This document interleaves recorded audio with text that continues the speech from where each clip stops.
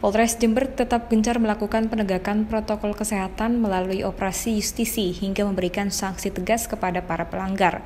Operasi justisi merupakan salah satu upaya mendisiplinkan masyarakat dalam menerapkan prokes, yakni memakai masker dan menjauhi kerumunan, guna mencegah penyebaran COVID-19 di wilayah hukumnya. Personil Polres Jember setiap hari menggelar justisi di tempat-tempat berbeda dengan sasaran berbeda.